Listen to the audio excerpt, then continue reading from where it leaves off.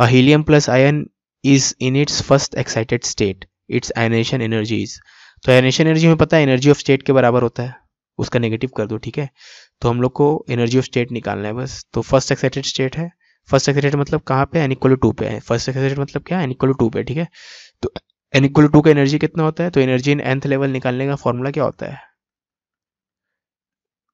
Energy nth level निकालने का formula ये होता है। Minus thirteen point six into Z helium के लिए जेड कितना होता है? टू।